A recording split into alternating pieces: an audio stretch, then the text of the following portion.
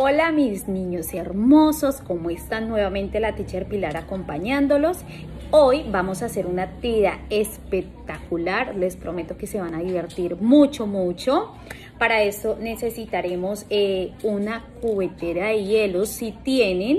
En este caso yo voy a utilizar estos tres vasitos que encontré, entonces los voy a reutilizar.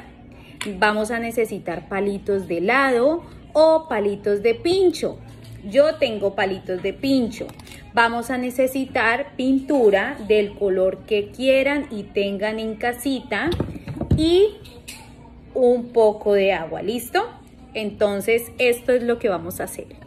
Bueno, lo primero que vamos a hacer en caso de que tengan eh, palitos de pincho, pues como los palitos de pincho son grandes, los vamos a cortar en pedacitos pequeños. Yo voy a hacerle con la tijera la ceñita para poder partirlo de esta manera. De esta manera. Voy a utilizar solo tres colores. Voy a ponerlo. Nuevamente voy a cortar otro palito. Y lo parto con mucho cuidado. Esta manera. Le corto. Listo. Entonces ya tengo mis cubeticas mis tres cubeticas mis tres palitos. Ahora qué vamos a hacer vamos a echar un poquito de pintura un poquito muy poquito de pintura amarilla acá. Ahora pintura roja en el otro recipiente. Ya saben que pueden utilizar una cubetera de hielo. No mucha pintura, ¿listo? Y ahora la pintura azul. No mucha.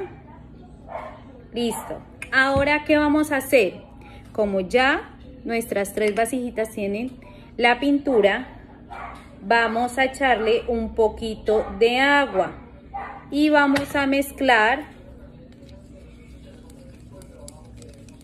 esos, el agua y la pintura.